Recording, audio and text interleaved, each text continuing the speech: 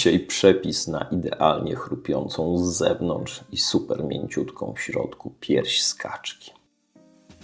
Zaczynamy od piersi.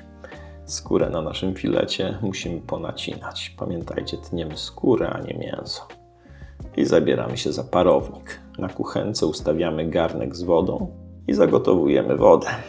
Układamy durszlak, wkładamy naszą kaczkę skórą do góry, przykrywamy i parujemy przez 20 minut. W tym czasie robimy marynatę.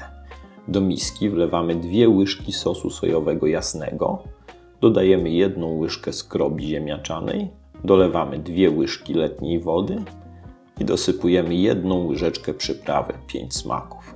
Dokładnie mieszamy.